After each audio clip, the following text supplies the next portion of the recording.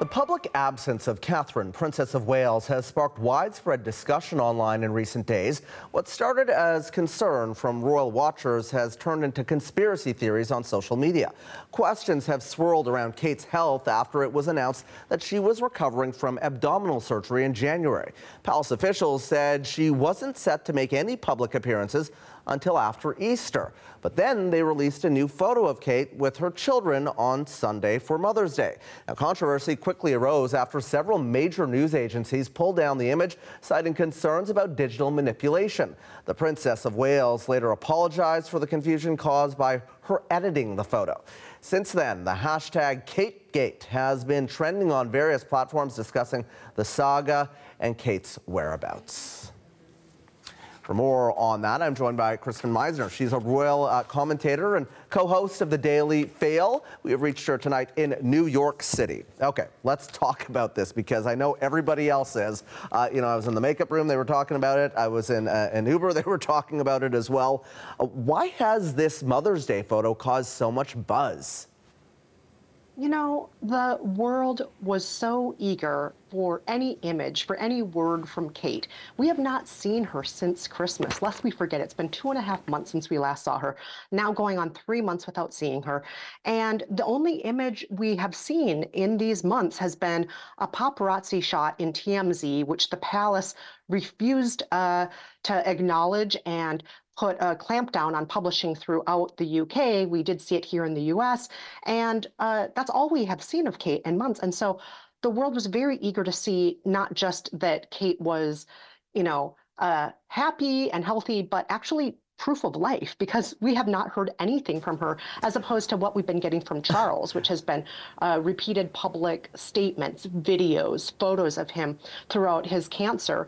And so we wanted to see Kate and then to see a version of Kate that is so manipulated, so bad that all of the major press outlets and distributors in the world have said this is uh, contrary to all of our journalistic standards, we cannot publish this, it raises a lot of suspicions and makes people worry is Kate actually okay? This did nothing to allay anyone's concerns at all. It just raised more suspicions. So, I mean, what, what, do people want right now, Kristen? Do they want, you know, a picture of Kate holding up a current newspaper or something like that? you know, you're talking about proof of life. I mean, what do you think will sa satisfy folks? You know, I really I, I really think that uh, Kate's camp in Kensington Palace should take a cue from what Charles is doing in Buckingham Palace. Like I said, mm-hmm. uh, releasing photos. Charles has had a video and photos of him reading thank you cards. He has. Uh, uh, gone about his business. There have been posts on social media. And we're not saying we need daily mm-hmm. updates from Kate. We're not saying that we need every minute of her life documented. But this is so unusual for somebody whose job is essentially to be photographed. She is essentially a PR agent for what it means to be British in the world, for the monarchy. And to not see her this long and for the messaging to be so cagey is not enough. Yeah. We need more transparency or the conspiracy theories are going to continue. And we know the palace does not like those conspiracy theories. Well, they sure. have even put out a, a, stern statement about them. okay, so they put out a statement about the conspiracy theories, um, but they haven't done nothing really to uh, like stop them. I mean, if this was a nothing burger, would we see something more uh, forceful and direct from the palace? Not necessarily. The palace is messaging can uh, vary from situation to situation. Hmm. And we're in a situation that we have never seen before, frankly, from the palace. I have never seen anything like this. I've been covering the royals since Kate and Wills first got married. And we've never seen anything on this level before, uh, where there are suspicions that are, are in some cases, uh, you know, about their marriage, about whether or not she's even alive. And so, uh, this level of suspicion on the public's part, the Palace has just never blown their communications this badly before. This is just one mistake after another on their part. The lack of transparency, their attempt at transparency being this Mother's Day photo, and then it being so bad. And then the apology statement about the Mother's Day photo coming from Kate, even though Will was the one who was credited with taking the photo, everything just gets more and more confusing with every message from the palace.